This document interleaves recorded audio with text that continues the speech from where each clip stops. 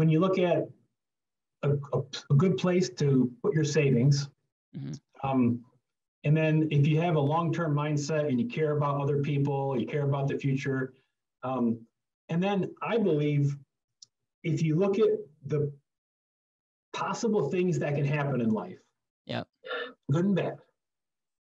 I think a lot of us don't put, and we don't want to think about the bad things, but we don't. I don't think we put um, enough maybe pro. There's these things that aren't very probable, but if they happen, they're extremely volatile and very challenging. And so if you take a low probability with super huge impact, those things should be factored in.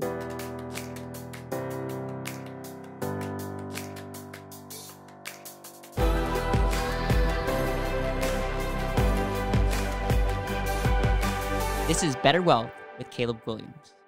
David, welcome to the Better Wealth podcast. Hey, hey Caleb, thank you. Good to see you. I'm I'm really excited for you to be on here. Um, in full full honesty, we did a recording a while ago and it got lost. so um, you are this is part two, uh, and but people aren't going to listen to part one. And one of the reasons why you're you're on the the Better Wealth podcast is you just have such an amazing testimony of what it's like to do legacy planning, what it's like to establish and assets, what it's like to take back control. You've been a learner. What makes you so unique is you're not helping people set this up, but yet you know so many people in the industry. Um, you will go to different conferences that are mainly just for financial professionals, and you just have such a love for for this business. And I remember reaching you. You reached out to me on LinkedIn and just shared a little bit of your story. Bought bought uh, Dan and I dinner uh, when you came out to Colorado, and ever since uh, you've been a great friend. And so, number one, I want to thank you for being such an incredible friend. And I, what what would be a win in this conversation is just for the people listening to be encouraged through your action, through some of the aha moments that you've had. And I would I would love for you to share as much as you're willing and open um, but uh, again, if I ask any question that you're not comfortable answering, no no worries. Um, but I'm I've been looking forward to this this conversation for a while. Oh, thank you. That's thanks for that little background. Um, yeah, I don't I can't explain it. I just have really been ever since I learned like 2017 about this and started researching it. You know, the whole um, the and asset kind of concept. It's just um, I don't know. I just it's just something that just can't go away. I'm always thinking about it and I mean, yep. I, I, got a friend right now. I'm thinking of his name. His name is Jake, and I'm like, Jake, you gotta give me five minutes, yeah. um, because I know I know based on his morals and long-term thinking that it just fits. But but it, so anyway. So, so why don't you? This is what I would love for you to do. Why don't you go through your background and and give people a little bit of context? You don't live in Colorado, um, and you also have a very unique context as it relates to business and investing.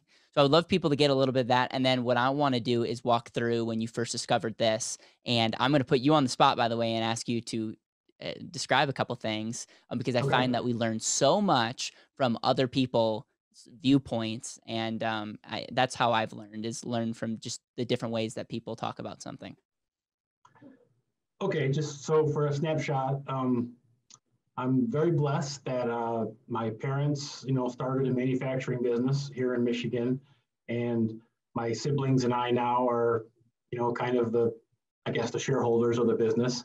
And I'm also blessed that we have some non-family leadership who runs the place day to day. And so for the last um, almost five years, I've been able to kind of just kind of say, I want to go research X.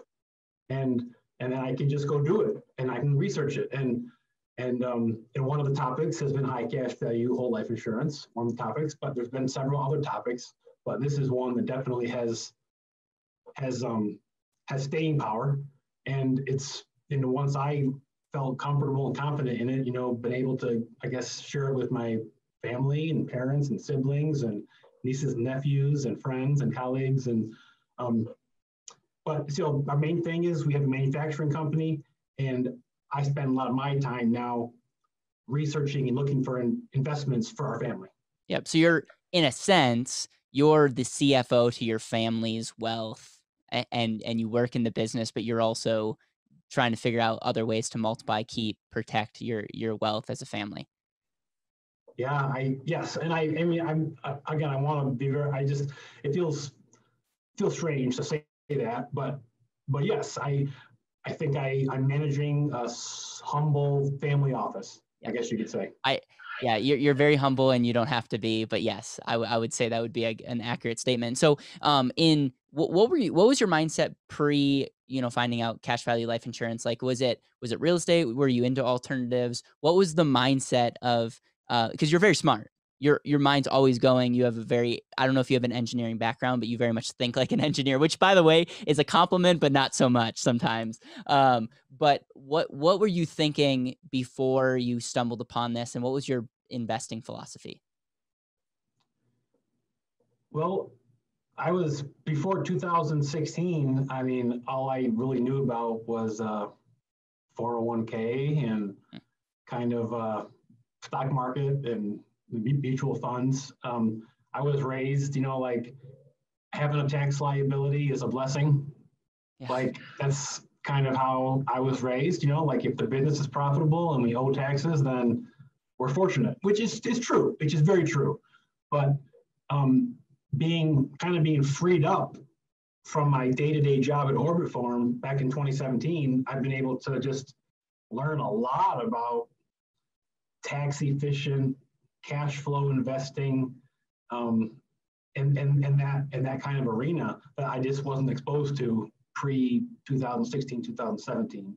Um, since 2017, you know, really big focus is, um, like I mentioned, you know, tax efficient, cash flowing, um, being able to uh, use leverage and pull your money out of investments and keep the equity and redeploy it somewhere else. You know, I mean, it's not rocket science, but it's just it's not something that you learn naturally, I guess. Yeah. Would you would you say that through this journey, your you your eyes got open to the efficiency? Like there's there's you know the basics of investing is you're putting some kind of resource and hoping for some kind of result. But then when you when you start going into that, it's like wow, you can create efficiencies across that whole process and and double of tri- and triple the result. May and it might not be by taking a triple risk. You know, it's like so it's like, would you say that in that journey you've your your eyes got open to efficiency, or is there any anything else that would like really uh, you know intrigued you that that you went down this path? Well, efficiency is certainly one of the aha moments I had when it came to um, high cash value whole life insurance. You know, and and I know it's not as simple as your money working in two or three places at once, but in a lot of ways it actually is. Uh, um, and then I think that's corollary to, you know, if you can buy an asset and if you can um, you can raise the value and you can refinance it and you can keep your equity and then you can roll over that refinanced that in something else. I mean, that, that's it is very efficient. Um, and really the key thing I think is just having either having the skill set to handle those investments yourself or finding operators that you trust and believe in that you want to you know, kind of hand your hand your capital.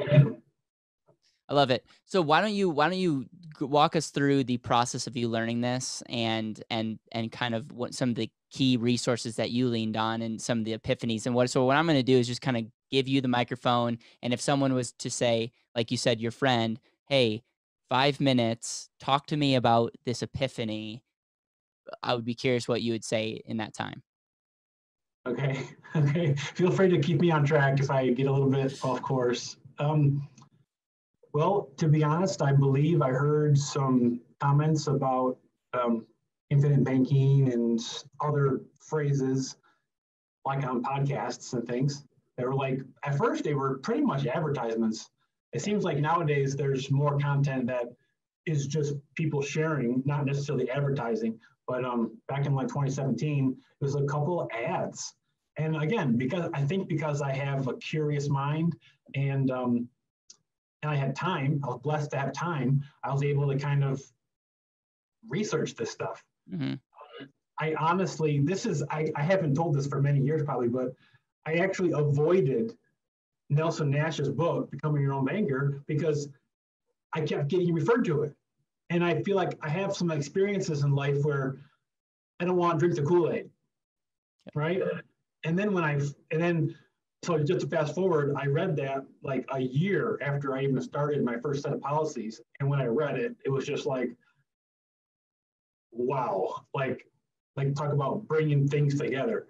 Um, but early on in 2017, um, I really didn't have a I had a lukewarm attitude about life insurance. Like like I had some here at Orbitform. We I had like a whole life policy that I was going to invest in over a certain amount of years, and but it but it but it wasn't anything I would ever think about you know using.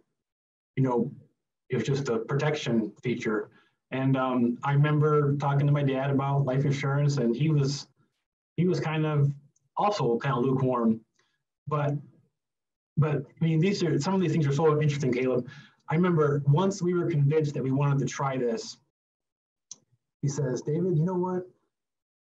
My life insurance advisor from, from Northwestern Mutual, like every year for 20 years would call me and say, he'd say, Mike, that's my dad's name, Mike. He'd say, Mike, we need to get together and talk about more ways that you can be using your, your life insurance. And my dad would always, you know, no, thank you. You know, I'm good. Got, got, got life insurance, you know, and now he looks back at that and he's like, wow, I wonder if Pete was trying to, you know, share some bigger picture ideas with me, you know, back in the day even. Um, so, you know, just researching and learning about the um, the banks and how banks own so much life insurance. I, I spent a lot of time researching the life settlement industry, and we've actually our family has made some pretty significant investments in life settlement funds. Right. And, and just, and just so everyone listening or, or watching this life settlements is you investing in other people's life insurance death benefit and a lot of times they are you know universal life policies that aren't designed for cash accumulation. And you have someone who's on the hook with potentially big premiums but does is running like doesn't really want to pay that but the death benefit would be best to keep. And so in a in a in a not twisted way, but in, in a quite brilliant way, you can create a win-win scenario where you pay that person eh, more than the premium so that they get some value up front and then also get a portion or all of the death benefit when that person it's called in the life settlement business matures um, mm-hmm. but passes away and so it's a it's a way to have very little to no market correlation and and still get a potential rate of return. Um, it's also highly regulated. Um, but yes, I just wanted to give context. It's a it's a brilliant brilliant investment for some people. And, and I got I know this is kind of taking the long way around, but I think you want that. Like, yeah. So I wasn't I was tangentially aware of this infinite banking concept, high cash pay life insurance thing, and it was kind of in the side, but I was focusing on life settlements. And so I learned a ton about the life insurance industry and how strong these um, life insurance carriers are and and how how, how there's some really um, strong, I hate to say the word government, but regulatory protections in place to um, protect policyholders and beneficiaries. And and then I just felt like, man, if this is a this life settlement investment is just a super non-correlated um, safe place to earn a decent return. Yeah.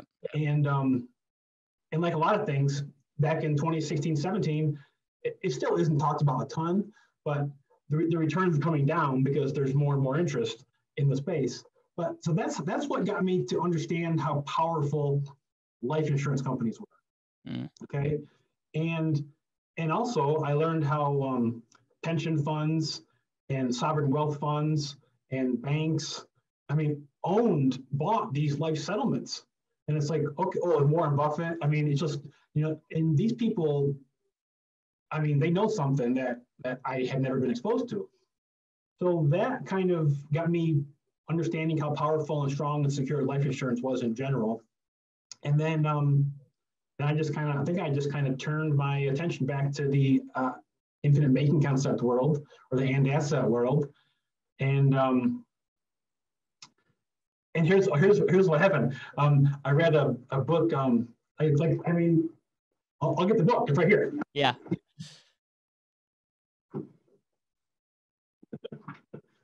well, here's a. Here's a here's the asset book. Yeah, that's Um, right. But this book right here um, is called The Secret Asset. Yep. And I'm reading this and I'm like, remember, I'm what's crazy is the key characters are Big Mike. That's and my dad's name is Mike, and everybody calls him Big Mike. Hmm. And the protagonist of the book is David, who is like the next generation who's learning about how to Yeah. deploy life insurance for their family. Yeah. And I'm like, what the heck? So, so so here's what happened. I'm like, I'm like, Dad, we've already decided to invest a lot of money in life settlements. We're just buying our own life settlements. Yep. With life insurance. And- with higher with higher returns. And maintaining control with better tax benefits. Exactly. So it was like I'm looking at these charts of life insurance, and I'm Mm. like, well, this is exactly like the charts I was looking at for life settlements, but this has higher margins. Yeah. There's, there's So- no middle person. So so I'm gonna I'm gonna recap because I, I actually was not expecting this, but I love that you're going down this road. So life settlements, we we talked a little bit about that, but you were looking at that as an investment, and and just to recap on that, it's to put your money, buy other people's life insurance policies, and when they mature, you get a payout not correlated to the market in in a lot of cases and again i don't know if i have to say this as a disclaimer not giving any investment advice don't sue david or i um, but in, in a lot of cases um, over 10% re- return and and depending on how they're structured you it's not necessarily tax free then um, No. and No. and so what you were saying is like it's still great it's not correlated to the market it's you it's it's this is kind of where it gets a little weird is people take a medical test and the and the good candidates are the ones that are not healthy and so it's just like you know it's it's one of those things where it is a little bit inter- you do have to like open your eyes to get even into this investment um but then you were you were looking at you know life insurance itself and your eyes went you, you turned on because you're like this is the life settlements on steroids because and we're going to get into the family legacy banking concept but you so you're essentially saying instead of putting this money into uh, just for a future payout we can put our money towards an asset that will give us a future payout. I love that you're thinking long term. By the way that's tax free but then also you get to maintain control of that capital i.e the infinite banking the and asset concept of saying what what's all the other benefit that you can do when before the maturity? And you're you're saying better returns i.e better returns as a, and it relates the the death benefit but better returns i would say through the activity of controlling your capital as well. For sure. that's Yeah, amazing. i you- that's that i'm thank i'm grateful that you articulated that because no one on this show has articulated that view of life insurance and i think it's a it's a powerful view Well, good, good. Because I, I feel like I was going a little of a tangent there, but um, yeah. So, but yeah. Then when you start, there's a couple other things I guess that really, um, you know, that really kind of hit home. I mean, I, I just feel like when you look at a, a, a good place to put your savings, Mhm. um, and then if you have a long-term mindset and you care about other people, you care about the future, um, and then I believe if you look at the possible things that can happen in life, yeah, good and bad, I think a lot of us don't put, and we don't want to think about the bad things, but we don't, I don't think we put um, enough maybe pro, there's these things that aren't very probable, but if they happen, they're extremely volatile and very challenging. And so if you take a low probability with super huge impact, those things should be factored in. So you factor in somebody losing a job, getting sick, passing away, you know, getting a divorce. I mean, whatever, these things that if they- they're not maybe that probable, but when if they do happen, they're really impactful.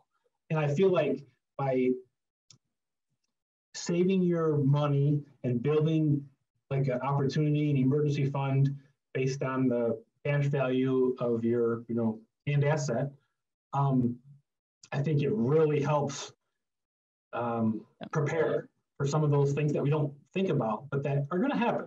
Yeah. Um, that's another big piece of this pie, um, in my mind. so I want to ask you. I want to ask you this. Um, when when I talked to Jason Sanger at Wealth Building Cornerstones, he talked about him studying a lot of pension funds, and he's like, "Oh, if you actually discover like if you look inside of a pension fund, there's there's different economic powers that are going on." Was that a part of your research at all? Did you look at like what pension funds and what even annuities were made of and you're like and did you did you identify that there were actuarial invest or not Yeah. investments, actuarial products and investment? And was that because you you said like the sovereign pension funds, or did you learn that kind of after the fact? Because I think from someone who's very much in in the role that you were, and a concept of a family pension is also, I mean, that's what you guys are building Mhm. is is also really key. Did that come up in any of your research? It did. It did. I remember several times being like, wow, so these companies, when they used to create pensions for their employees, they would write checks to life insurance companies. And I'm like, this is crazy. And then when you think of like the executives even today, they're not they're not basing their future on their 401k. They're getting their bonuses, they're getting their long-term compensation by the company giving money life insurance companies to then to then build, like you said, an annuity like product, or it, it might just be life insurance based, but some of them are annuity based. And the life insurance companies are the entities that handle these. And it's like, wow, why like why are life insurance companies so disrespected? And well, I mean, you know why. And I don't want to go down the whole incentives for Wall Street and keeping man, keeping um, assets under management and all that stuff. But but um, but it's easy to understand why life insurance is so disrespected because because it's not under the control of a third party. The other thing I'll say is there's a lot of people also selling life insurance that shouldn't be or way oversell it and make you want to take a shower afterwards. So I will I it, giving everybody the benefit of the doubt. I think 100% there's a lot there's agendas going on. And and if you actually look at if you if you want to play the pension game, major there's people making pensions just off of managing your money, to be quite Yeah. frank. Um, so it's it's their own pension plan um, but but there's also a lot of misinformation in education. That's why I'm so grateful that we got connected because you get it, but you've gone through a journey. You've you've probably had some cringeworthy conversations with some people, and and and yet it's you have you have so much conviction, and you're not even in the business. And I just think it's a powerful it's a powerful testimony. One of the things that we talk about is external rate of return. This is this concept of like getting the it's the result outside the policy that you that only happens because you you're set up something like you have a policy. Do you have an example? I know you, you guys haven't been doing it for your entire life, but do you have an example in the last couple of years that you have gotten an external return because you guys have set up your and assets and infinite banking contracts as a family? Yeah. I mean, I think the simplest things are um, we've replaced uh, my brother, my sister, and me have, have all replaced our mortgages, you know, and we've turned them into like a family banking kind of situation. Um, so we know basically we've taken policy loans from some of the family owned life insurance and um, we've t- bought out our mortgages from third party lenders.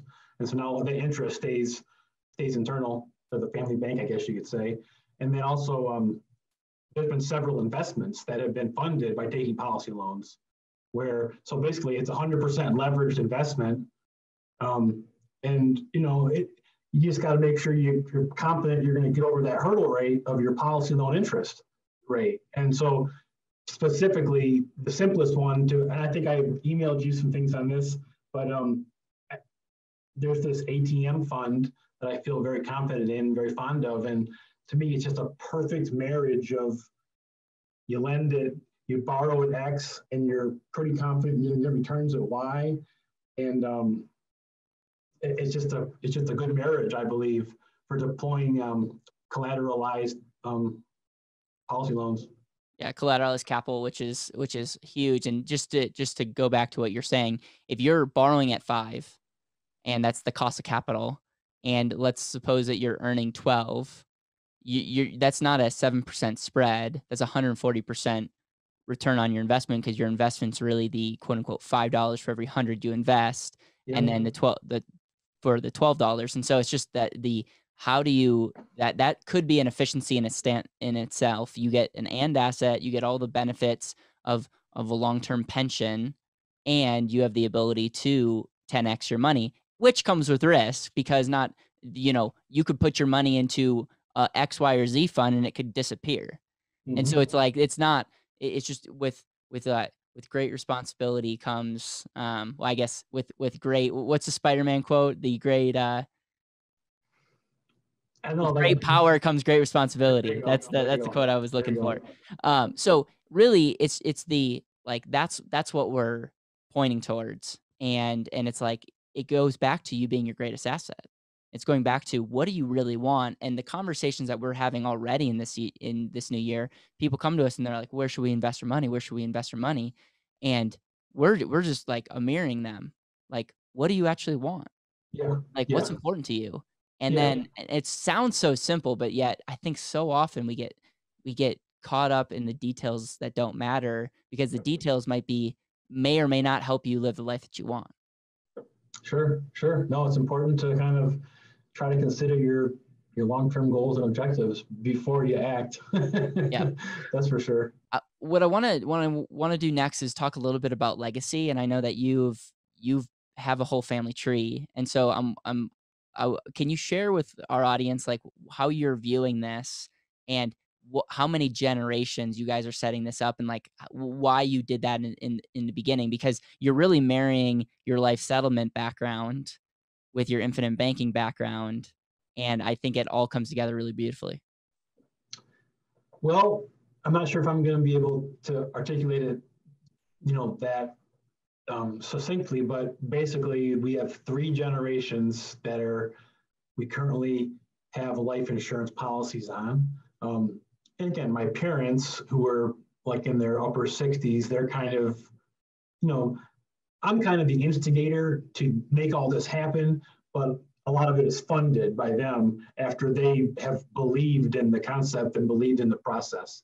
Um, so basically, um, I, I, use the term exit Wall Street. We we've taken we've exited Wall Street, and we've said, okay, we're exiting Wall Street with these funds, and we've we've put in place some fairly significant um, like seven pay policies from my parents. And we've invested that exited Wall Street money in pretty in pretty um, conservative places, more like I mean, just a little more, just a little more than cash, really. Um, so that because we know we got to fund these guys for seven years, because that's kind of like the um, what do you call it, the overflowing bucket concept. Um, so we have that in place, and then we've set up, and then we've set up. I personally, my wife and I, you know, own policies on each other and our children, but my parents have also funding policies for me and my wife and my four siblings and their spouses and the 12 grandkids. And and these aren't like super huge, but they're enough so that like my daughters who are currently uh, 10 7 and 3 like they're designed so that when they're they're when they're all 18 or 19 they'll have like 75 to 100k of cash value. And it's substantial enough where they they'll have some like you said they're going to have some responsibility but they're going to have some power. They're going to be like okay do i want to use this to pay for college? Or do I want to use this to buy a vehicle? Do I want to use this to start a business? Do I want to, like, and it's my job to help them learn what this means. Um, but that's the goal. None of this is to, so here's the thing. And the goal is that people within our family, they they get access to capital by taking loans from the family bank, which is basically structured around cash value and life insurance. And the deal is we have a we have a promissory note and a family bank contract for every loan. And if and we have a deal where anybody else like in the family can can say, hey, once a year they can say, show me you're paying, you're servicing that loan. Which we haven't, no one's done that yet, but if we can, if we need to, then we no one's asked me to give proof that I'm servicing my loan. But but I've agreed in writing that they can. And then if I'm not servicing a loan, I can't go get an next loan. So, like I could screw up, I could screw up once, but then I can't go get the next loan. And so it, I think it's kind of like the way the Rockefellers have done it. It's, it's, it's nowhere near as, I mean, we don't have a 50 page like family like story or anything, but but at least we're saying, listen, you can you can do things by taking loans and you might have more flexible terms and you might have but if you're not servicing or paying back that loan you're not getting the next one. Yeah i, I want to walk i want to walk through and just summarize what you're saying because it's so powerful. So when when you talk about the waterfall method three three generations seven pay what you're saying is your parents have substantial life insurance on them and it's so funny because a lot of people come come to us and they'll be saying like hey i think i should have life insurance on all my kids. And we're like yes. And make sure that you're properly insured because this whole thing it's like and and let me explain why. Because what's going to happen is not only are your whole family including your parents controlling the cash that's in those policies but if and when they do pass away that money is going to flow. And why is it called the waterfall? It's because it's going to flow to the next generation and something tells me that you're going to have a place to have that money flow, whether it's a outstanding policy loan, whether it's a, an investment. I just know you well enough where I know that that's already being accounted for because that death benefit is a permanent tax-free asset to the family. And so that so that you guys already like bam, right now, like you could have some really um, bad things happen in your family, meaning like you know people could do some really terrible things and overall it, it will get taken care of in the next generation. And so i just think it's it's such a beautiful example and i also want to just go back to when your kids are 18 having 70 to 100 thousand dollars of cash value and and that's eh, that's an exponential asset that asset is growing exponentially like it's it's cool because yes they they will have a lot of power they will have a lot of responsibility and it's just really exciting because the idea is when they start having children to continue that and you you guys are essentially doing what the Rockefellers do, um, just probably with a, a fewer fewer zeros. but but yeah. that's it, it. It's your each generation's getting gonna get stronger and stronger because your parents, their decision is going to show up for your grandchildren's children, if that if that habit is continued. And so I want like that to sink in because not everyone's going to be in that that place, but like my family, we're two generations. And when when I have children god willing like that that we will be carrying the torch and and each generation will get will get stronger. Now note that it's not a get rich quick scheme. It's not like mm-hmm. a this is a fast it's like no this is the foundation. And you guys are continuing to invest outside and you guys have already you guys already have documents in place to make sure that people don't take advantage of of the power that you guys are establishing. And so am I missing anything? I, I just I, I wanted to summarize what you so beautifully articulated. No, you're you've got it, and I think the point of it's not a get rich quick scheme. It's not a way to make your kids or your grandkids um, spoiled because they're not they're not getting cash. Like like if they want to get a loan, they've got to document what the plan is. Like I'm buying a vehicle, and here's the pay down plan. I'm, I'm funding my school and here's a pay down plan. I'm buying some real estate and here's the expected cash flow from the real estate. I mean, I, I'm just taking over my mortgage. I'm already paying this amount a month for my mortgage with Wells Fargo. So I'm just going to replace that with a family bank loan. I mean, it's, it's, it's like almost like teaching us to have a little business plans every time we take out a policy loan. And, and now I, that's that's for the family bank stuff. My wife and I have our own systems, and that's that's a little more flexible. We use that almost like um almost not as fluid as like a line of credit, but kind of like a line of credit. Like you know, like my girls' private school tuitions, we you know they're expensive, and so we kind of build the policies and then take loans and pay back the loans, and you know so you know kind of do some of our life financial management through our policies that we own that we're funding ourselves. Yep. Yep. And and that's what I, I also want to clarify is when you're doing the family banking, like your kids don't own the policy at this point. They're the insured, but I yep. something tells me that either a trust or you own the policies. And so they're accountable to that, even though they are the insured. And potentially, I don't know, but potentially that will be hand like they will get ownership at some point in their life. Maybe not. Um, yeah, there's there's a couple. Okay. So you want to hear? So, so last week, last week, um, December is when the we call them G three. G three is the grandkids, so my kids. So last week, I got three letters in the mail from Mass Mutual, and they all looked exactly the same, except one was, you know, to David Shirkey, care of Hazel Shirkey. David Shirkey, care of Nora Shirkey. David Shirkey. So my daughter, seven year old, like, Dad, why do you have three of the same letters? So, so we're sitting there at dinner, and I said, Hey, for dinner, let's look at them. And so I'm sitting there with my wife, my three daughters, three, seven, and ten. I open up each of their like what is it like the annual statement Yep. or whatever. Yep.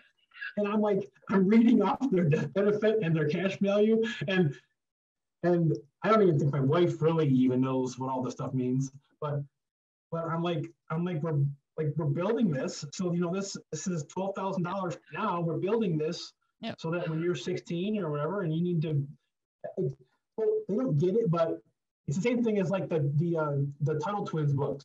It's they don't get all this stuff, but man, no one ever. I never heard about Frederick Bastiat until I was 40, and they're talking about it when they're seven. We're talking about you know, and so it's just trying to build their awareness. And Yeah, we we have a couple clients that are doing something very similar and one of the benefits, the external benefits is just like it's making you be intentional with your kids and it's creating a system. I mean, it could it could you could do this with a savings account by the way. Like if you're you're at home, you could set up an individual savings account and yeah, over 15, 20, 30 years, there will be some differences. It's called compound interest, but overall like the, you're being those intentional conversations are really key and yeah, and I just think you guys are doing a phenomenal job, and I'm I'm really pumped to to just see you guys grow along with the journey. I also think it'd be cool um, to have you on a webinar to our clients and walk through sometime, you know, the notes and stuff and your experiences because I know a lot of our clients. I already know a lot of the emails that we're going to be getting, and you can email me at caleb at betterwealth.com.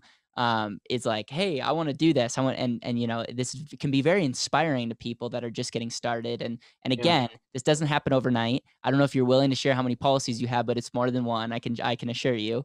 And it's and it's one of those things where it's like Rome wasn't built overnight, you know. And Yeah. so it's it's it's um it's very exciting. And I just again thank you so much for taking time to be on this on the show. Is there anything else, or yeah, I, I want you to share anything else that's on your mind as it relates to this topic. I just think, even though this isn't like a totally scripted professional presentation, hopefully it just, like you said, it provides some sparks because when one of your clients or prospects asks you, hey, that weird guy mentioned a family bank, like you're going to help them fill in the gaps. Yep. Like you're going to tell them what that actually is. And and that I think that's can be a very rich like way to bring this to life you know, to bring the and asset to life. Um, you know, I mean, he said, why do you, why do you mention a promissory note? Well, that might help you describe a tangible way of putting us to work. Um, you know, or, or the ATM investment. Like, like why did he say borrow at X and re- returns at Y? And hopefully, it just provides some good um, tangible discussion topics. I absolutely love it. Um, you know how I love ending these these podcasts, and it's the legacy question, and, and I think you're going to have a unique answer to this. Um, but if this was your last day on Earth and you were with the people that you love the most, what would you want to make sure that you communicated in your life experience, um, and what would you want your last conversation to be like? Well, I, I guess, I guess hopefully, you know, my family and friends have seen like an example of a person who's been willing to give, you know, give more than he takes, um, and try to help people and um, try to encourage people and um, just try to help people. People have uh, uh, people have a rough enough time as it is, and so you know, if we can if we can just um, try to be uplifting and just be loving. Um, I think that's what I hope my children and friends do when they have their everyday encounters. I mean, like in the morning when I'm driving my girls to school, I ask them, you know, how are you going to help your teacher today? How are you going to help your classmates today? And they get sick of hearing about it. But again, it's like, but if you have that in your mind, it just it just helps. Uh, extremely extremely powerful man the go giver is one of the books that i'm super grateful for and it's and it really there's some deep concepts that it's covered Um, but it's it's this concept of just being a giver at heart is everything, and and really creating value in the world is where it all begins. And so, thank you so much for creating value just on the show. Thank you for the legacy that you're living, um, and thank you just so much for this journey that you're allowing me to be a part of. Um, I'm really grateful that you're in my life, and I'm grateful to learn uh, because I learn from you because there's so many things that you guys are doing as a family that you know someday I, I hope to continue the family legacy on as well. So thank you so much. Uh, really appreciate you, and, and this will definitely not be the last time you'll be uh, in the Better Wealth community and sharing um, because I'm I'm excited for future webinars to come. Okay, sounds great. Take care. Awesome, dude. That was good. That was really good. Hey, I, I, I meant to I meant to say I meant to make a comment about uh about Dan reading the handbook. I forgot to get that in there. What do you What do you mean? The well, isn't Dan Dan's been like um you guys have your handbook and he's been um yeah it's Aaron. What Aaron? Yes. Yeah, we oh, have we have a lot of good looking guys at uh No, no, I so I'm glad I didn't I'm, glad I didn't yeah. say it then. Yeah. I, I guess I haven't been listening well enough, but yeah, I've been I've been uh, I've been enjoying the you know kind of the handbook you know being shared the last couple days. Yeah, dude, and and just wait till the movie comes out. We have one more shoot day, um, but we got we were in Wisconsin for three days. Um, got Jason Sanger going to be in Pensacola. Like it's um, it's my hope is my hope is to lay out a just a bulletproof argument to why one needs to, to have an and asset in their life and it's going to be good. I'm going to address. I'm going to address um, people like Dave Ramsey. I'm going to address it, all of the all the the people like Dave Ramsey and Suze Orman or Ramit yeah. Sethi. It all goes back to this buy term invested difference. Are you know are what is it? Al, Art Williams? No, Al. It's it this concept uh, of yeah. Um buy term invested difference. It's it's it comes down to opportunity cost. Totally like that's where all the problems with the buy term investor difference like all the problems with whole life insurance come from that line. So it's like we're we're designing this and i'm curious what your thoughts are on this. The cell phone okay? The cell phone think about how many things that this does. This is my alarm mm-hmm. clock.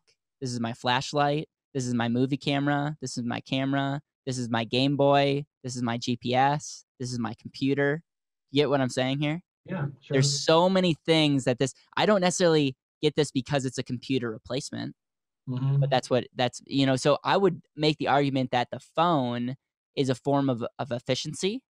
Mm-hmm. And every single person that has money has a cell phone. It's just what it is. We can argue that it's not a good thing, but yeah. the but the reality is people when people say, "Oh, this whole efficiency thing like people don't care." that's BS. People do care about efficiency. It's just we're not doing a good job of communicating that because we all have cars and we all have cell phones and we all have bought into the internet. And what do they? I mean, they're but the phone is a great example because it's bringing so many things together. And what I want, what I want people to understand is we have to stop thinking about life insurance as an investment.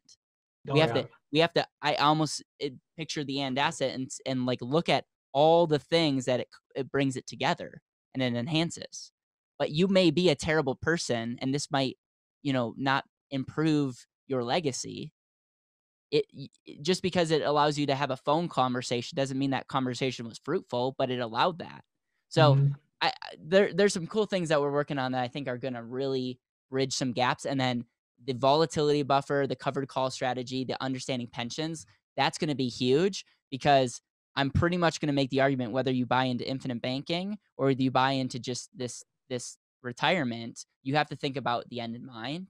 Mm-hmm. And I'm actually going to push down infinite banking a little bit and say, listen, this is not for everybody because majority of people shouldn't have control because they'll bankrupt themselves. You know, and so it's just very much yeah. playing to the like I want like I'm pushing it back on you. I'm talking about results efficiency and I'm I'm sharing like there's two types of people. There's people that seek control. And I think that's where true wealth happens. But if you're just going to buy into the 401k, let's actually look at why you're doing that. Why are you investing to begin with? It's it's for income, I think. Yeah. Retirement, I think. Well, if that's the case, and shouldn't we be measuring the income instead of the growth? So, dude, I'm yeah. I'm I'm fired up about this.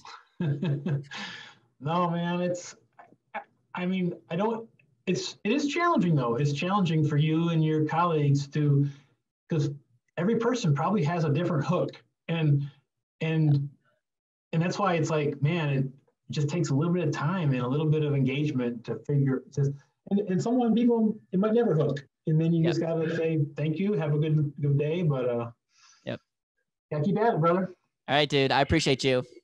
Take care. Yeah, take care.